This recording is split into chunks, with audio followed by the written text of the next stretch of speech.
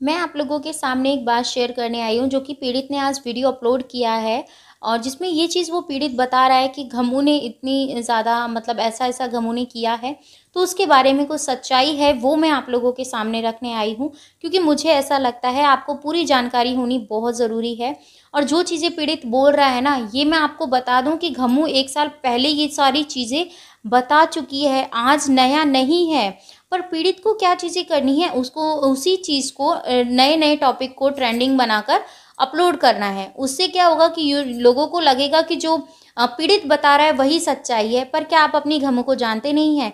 क्या आप अपनी घमों को इतना नहीं पहचानते हैं कि आपकी घमों क्या कर सकती है और क्या नहीं कर सकती है?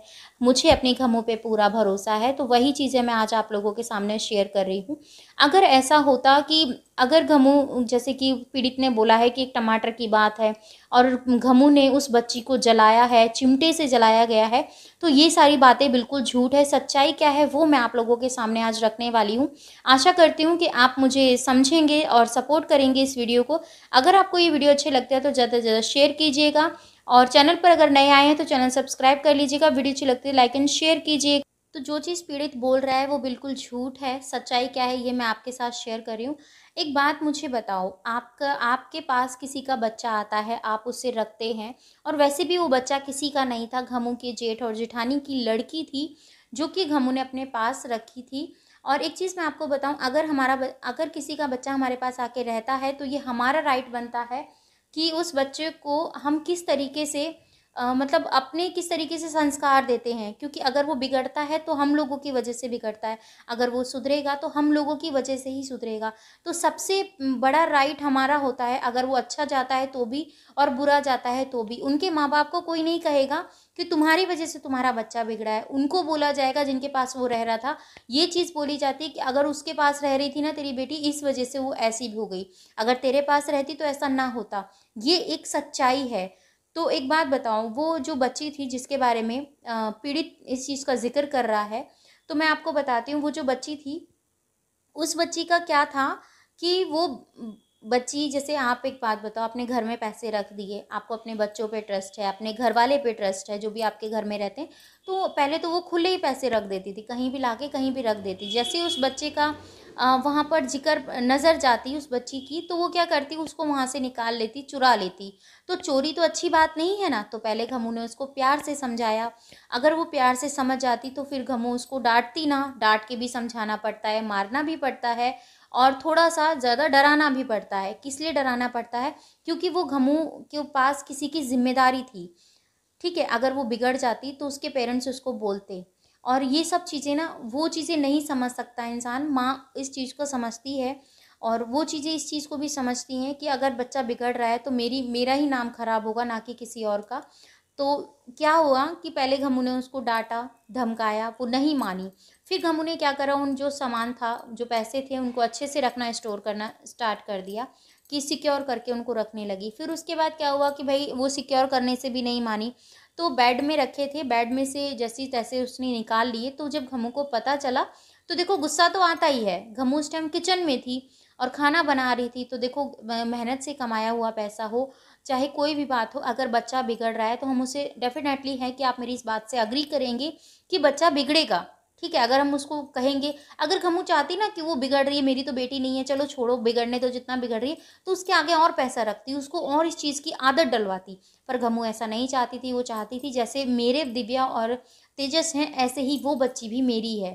तो ये सब चीज़ें हुई थी। तो उसने क्या करा, जब वो रोटी बना रही थी डेफिनेटली अगर हम रोटी बनाएँगे तो हमारे हाथ में चिमटा रहता है। तो उस चिमटे से क्या किया था घमू ने? जैसे रोटी बना रही थी, उसे थोड़ा डरा रही थी। उसको चिपकाया नहीं था। तो जैसे उसको डराया ना तो थोड़ा सा वो कूद के पड़ी, उछल के पड़ी, कूद के पड़ी। तो फिर क्या चीज़ हुई, जब वो कूद के पड़ी तो घमू जैसे थोड़ा सा डर गई थी तो चिमटा हल्का सा उसके लग गया था। और जो पुलिस की बात ये पीड़ित कर रहा है ना तो वो उनके पड़ोसियों ने पुलिस को बुलाया था। चलो हम मानते हैं, हम सारी बातें एक तरफ़ कर देते हैं, ठीक है, कि हमारी गमू ने ये चीज़ें की हैं। तो भाई गमू स्कूल में पढ़ाती है छोटे छोटे बच्चों को पढ़ाती है तो तुम उनमें से एक या दो बच्चे को हमारा वीडियो क्लिप ला के दे दो हमें, शेयर कर दो कि हाँ गमू उन बच्चों को मारती है, लड़ती है और प्रताड़ित करती है उन बच्चों को। तो ये सब चीज़ें हम समझ जाएँगे, ज़्यादा कुछ करने की ज़रूरत नहीं है। तो जो एफआईआर की बात हुई है, पुलिस स्टेशन की बात हुई है, वो बात क्या है, ये भी मैं आपको बता देती हूँ। देखिए, उन जो पड़ोसियों ने एफ़ आई थी, ना कि लड़की के पेरेंट्स ने एफआईआर करवाई थी, नहीं।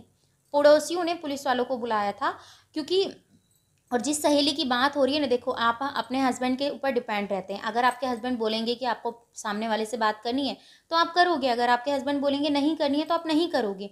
तो जो उसकी सहेली थी ना, उसके जो हस्बैंड थे, उनके साथ इसके पीड़ित के फैमिली के रिलेशन अच्छे नहीं थे। घमू के रिलेशन बहुत अच्छे थे। घमू वहाँ सोसाइटी में रहकर आई थी। किसी ने भी किसी के साथ घमू का भेदभाव नहीं था। घमू का किसी के साथ ऐसी चीज़ें नहीं थी कि कोई घमू को पसंद ना करे।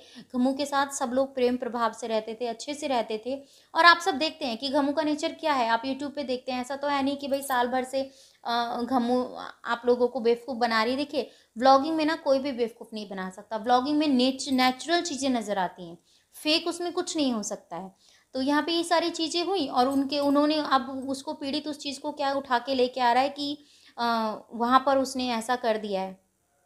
क्या बोलते हैं उसको, इसने, पीड़ित ने, इन सब चीज़ों को पुलिस वाला पुलिस केस हुआ, पीड़ित बोल रहे हैं कि मैंने उसको बचाया है, मैंने ये सब किया है, नहीं। जब उनके पेरेंट्स घर आ गए थे तो उनका जो मैटर था वो क्लोज हो गया था और फिर जिस लड़की के हस्बैंड ने पुलिस बुलाई थी ना, एक डेढ़ महीने बाद उनका जो रिलेशन था वो भी और ज़्यादा स्ट्रांग हो गया।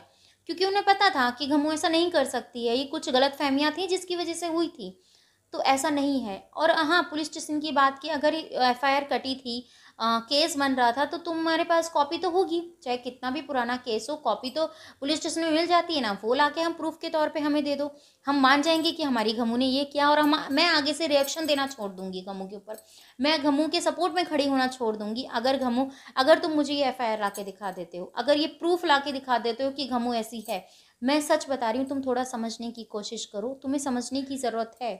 क्यों अपना नाम खराब कर रहे हो? अपनी फैमिली का नाम खराब कर रहे हो? तुम्हारे दो बच्चे हैं, नन्हे नन्हे। तुम्हारी बेटी तुमसे ये चीज़ें बोलती हैं कि, पापा, इस चीज़ को बंद करो। कोई फ़ायदा नहीं है। तो कुछ भी इन सब चीज़ों को कहने का कोई वो नहीं है।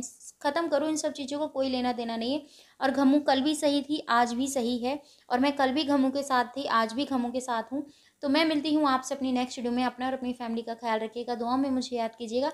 इस वीडियो के रिगार्डिंग आपका क्या क्वेश्चन है कमेंट सेक्शन में ज़रूर दीजिएगा। पीड़ित झूठ बोल रहा है और सिर्फ़ झूठ बोल रहा है, उसे मौका चाहिए किस तरीके से वो घमू को बदनाम करे। अरे, दो शब्द उस बच्चे के लिए बोल देते जिसके तुमने थंबनेल में पिक्चर्स लगाई हैं कि ये सब चीज़ें उस बच्चे के लिए बोल देते ना तो हमें भी अच्छा लगता। पर नहीं, तुम्हें तो गड़े मुर्दे उखाड़ के लेके आने हैं तो क्या कर सकते हैं?